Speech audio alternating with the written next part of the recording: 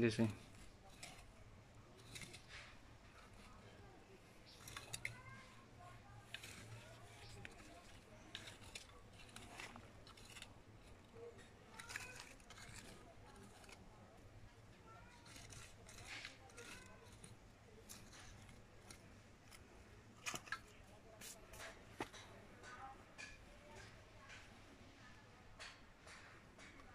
প্রথমে আমি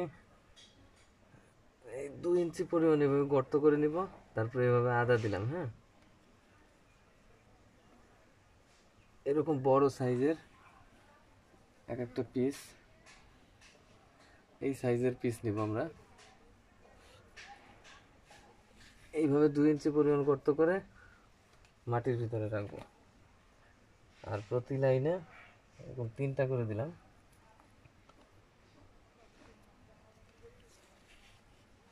এখানে একটা দিলাম।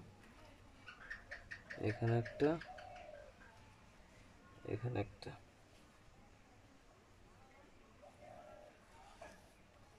এখানে একটা। এখানে একটা।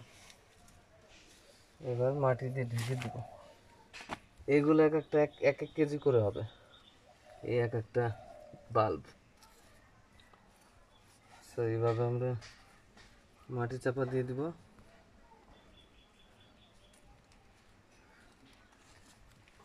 মাটি চাপা দিয়ে সমান করে দেব।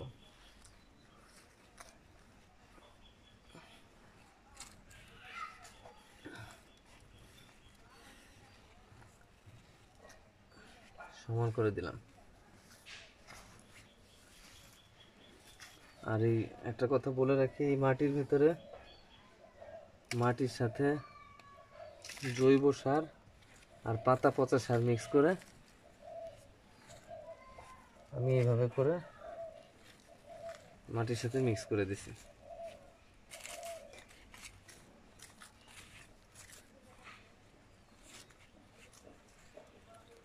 আর আদা গাছের জন্য প্রচুর পরিমাণে এনার্জির দরকার হয়, যার কারণে আমি এর উপর দিয়ে মালচিং করে দেবো আর নিয়মিত পানি দেব।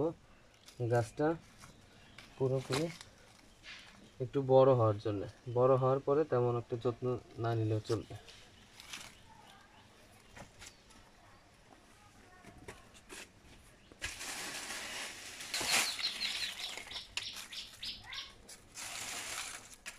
পাতা নিয়ে এলাম শুকনো পাতা।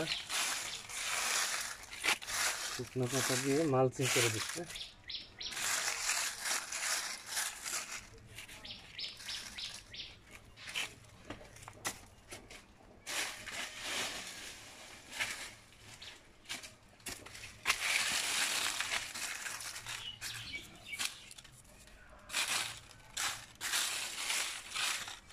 এইভাবে গাছের চার দিয়ে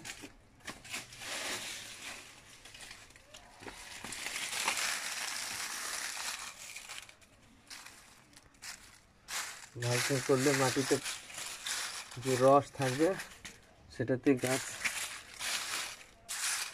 মোটামুটি বড় হয়ে যাবে। আর কিছু করতে হবে না। এরপর আমাদের এর চারপাশ দিয়ে পানি ছিটিয়ে দেবো।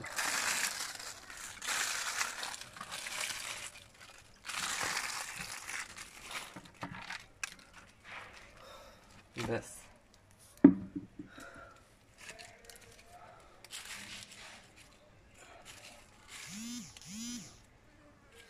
মোটামুটি আমাদের আদা গাছ লাগানো তৈরি হয়ে গেল।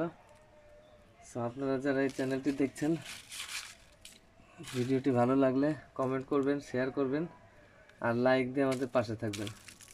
ধন্যবাদ, ভালো থাকবেন।